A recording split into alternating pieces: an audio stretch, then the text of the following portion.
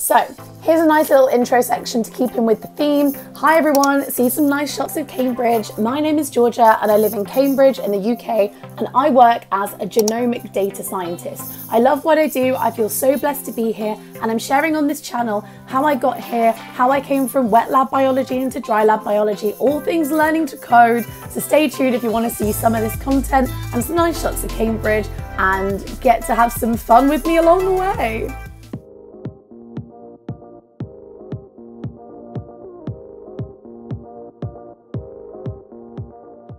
So guys, I'm going to try keep this video short and sweet. So let's crack on with the reasons why I love my job in genomic data science. So reason number one, flexibility. Working in data means that you don't have to be in the lab all of the time. So you've got that option to either work from home or come into the office if you want some fun chats with people, or if you've got things to do like, here he is, Monty Python like he won't come up, but things like feed the cat, take him to the vets, um, having that flexibility to work from wherever is more suitable for you is so, so good. And so for my instance, um, relevant Canada mug here.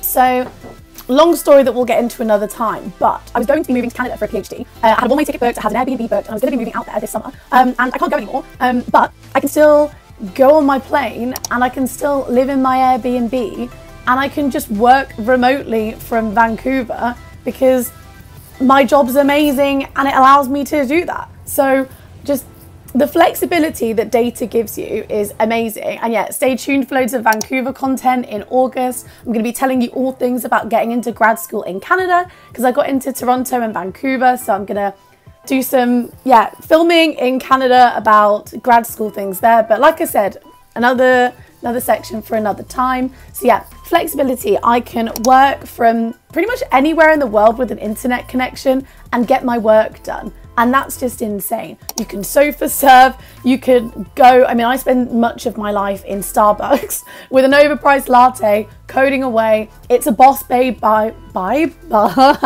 it's a boss babe vibe, just being able to do your job from anywhere. It feels great. So flexibility to work from anywhere is something I super, super love about working in data science in genomics.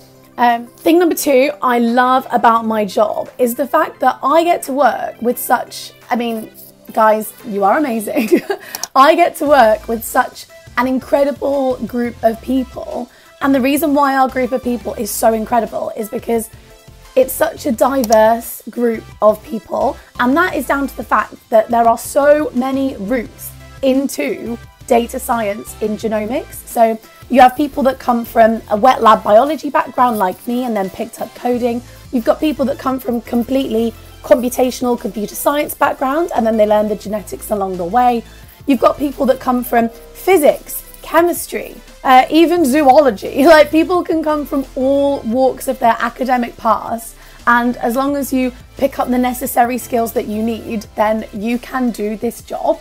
So I think it's just amazing that you get to meet different people that have had different experiences to you. And then when you then come to work together as a group, I forget the actual term, um, and I hopefully I will find a little thing to put here, but when you're trying to build a team, like a successful team, if you have similar people, your kind of area of vision just like stacks up on top of one another. Hey guys, so this is the book where I learned how important having a diverse team is. So it's called Rebel Ideas by Matthew Syed and it's all about the power of diverse thinking. So 100% recommend this book.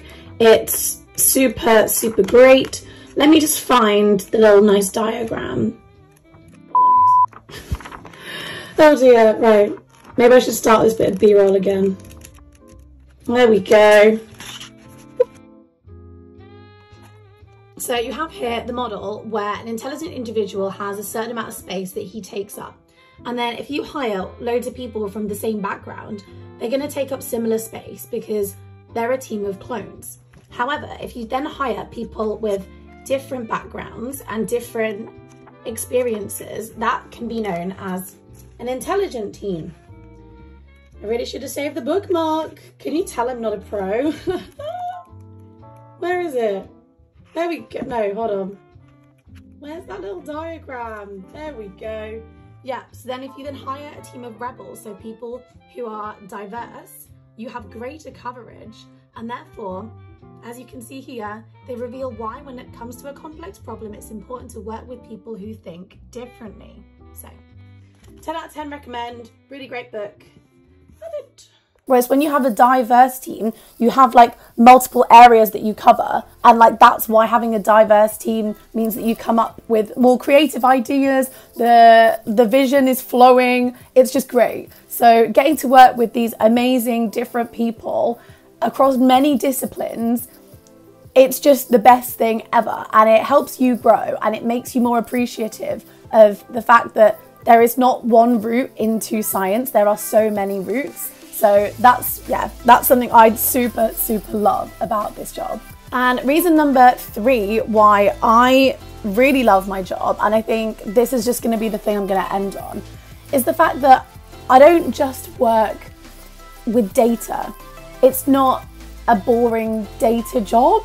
Um, so, I mean, don't get me wrong. I know that some people like thrive off just doing the data and working with the tools, and that's that's awesome. Like, love that for you. Like, no no dramas here. But the reason why I love working with data in the context of genomics is the fact that what you're doing is contributing to making human health better.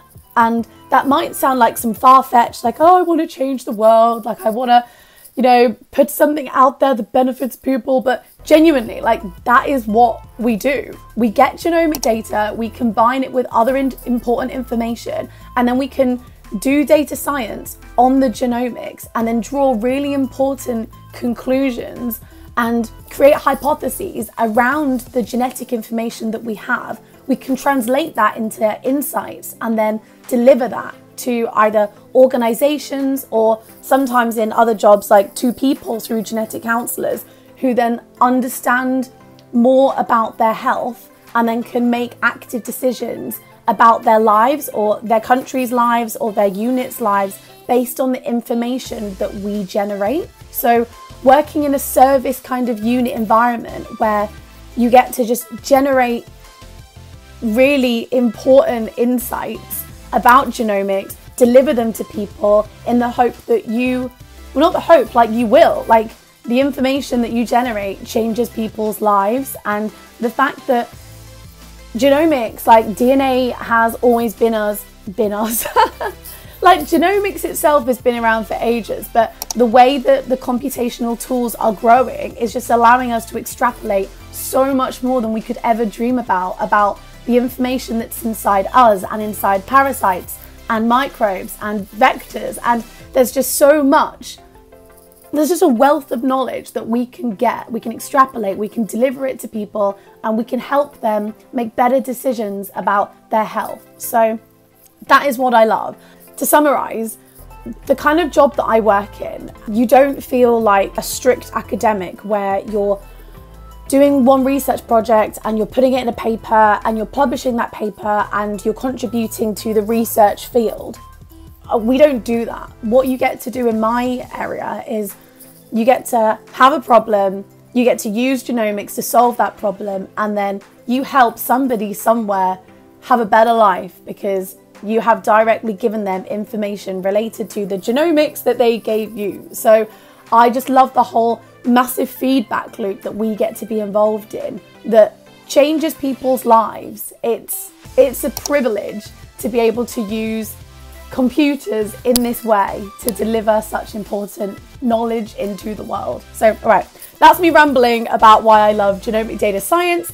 Uh, so, I hope you enjoyed this small little video. Wanted to keep it short. Please comment down below the content you want to see because I'm really keen to cater this to you guys. So, you guys are the reason why we're doing this. I'm going to be doing a load of things on graduating soon. It's all about you guys. So, please comment video ideas. I will make them for you. If you've enjoyed today, you know what to do subscribe to this channel, hit that like button, and I will see you next time on some more installments of Genomics with Georgia.